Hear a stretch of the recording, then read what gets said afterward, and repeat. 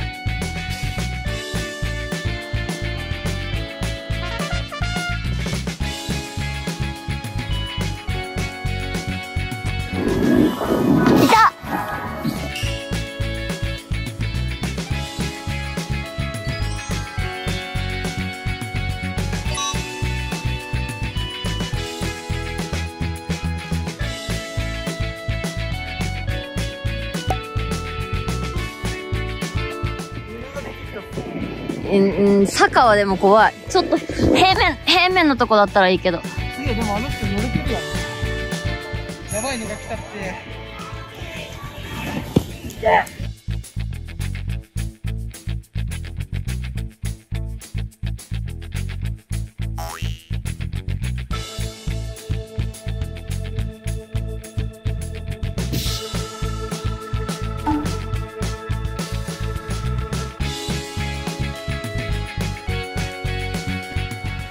みおちゃん上手じゃん。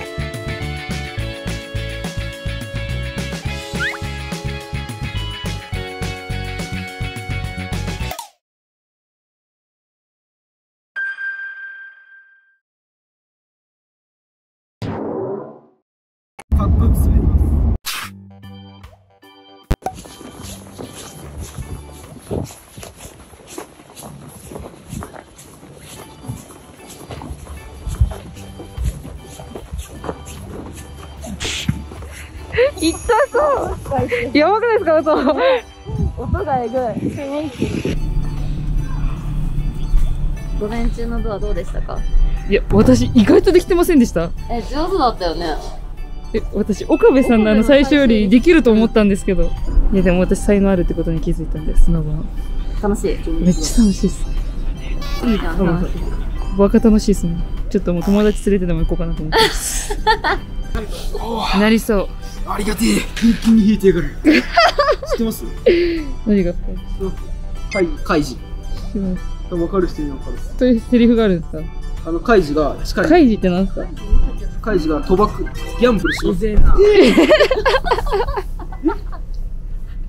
やばいっすよ。せんかった。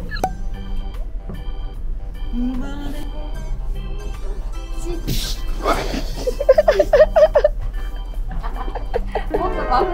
言ってほしかったですね。え、絶対やばいです、やばいです、やばいです。本当にやばい。ちょうどいいだねまだ。やばい。しかも熱くて食えないんで熱いんだろう。ちょっとさーってやって。もう熱くないですよ熱くないです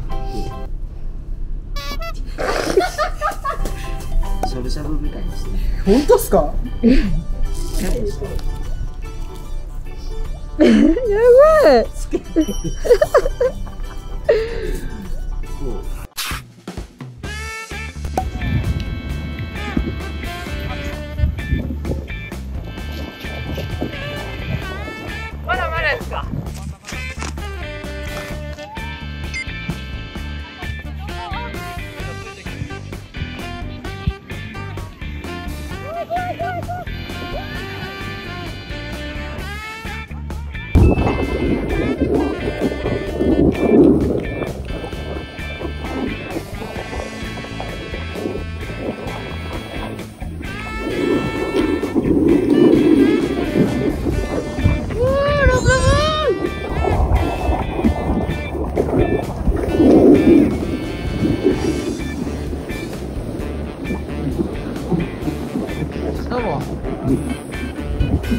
どうすか？絶好調？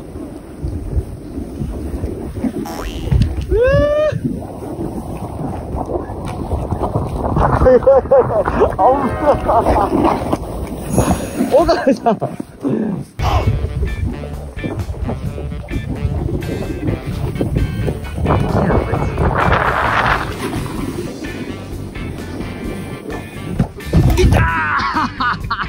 痛い。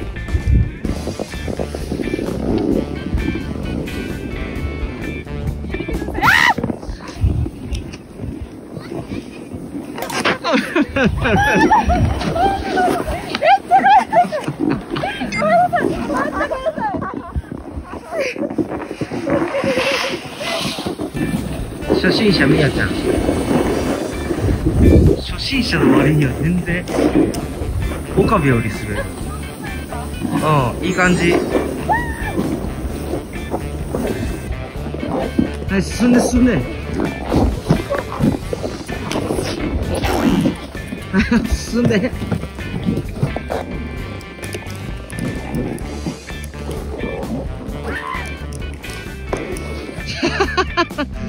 イチャイチャすんなって。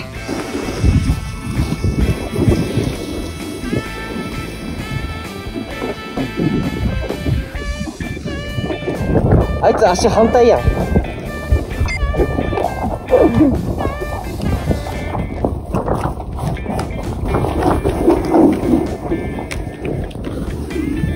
そのまま行けよ。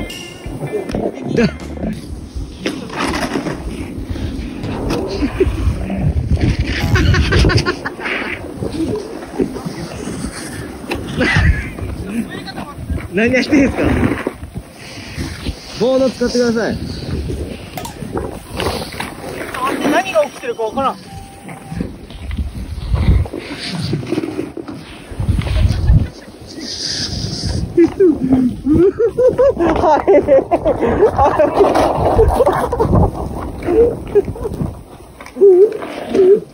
性ファン